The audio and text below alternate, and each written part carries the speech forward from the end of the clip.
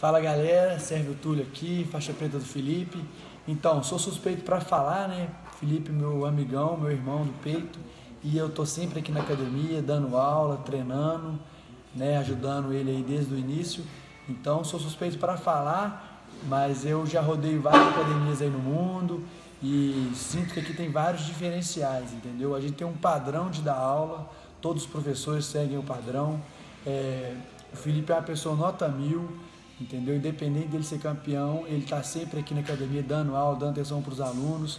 A estrutura aqui, o tatame é muito grande, espaço para o pessoal tomar banho após os treinos, vestiário amplo, é, sofá, entendeu? É, a galera te atende super bem aqui, entendeu?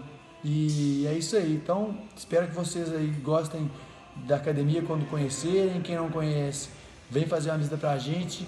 Vocês vão adorar, beleza? Valeu, prazer aí.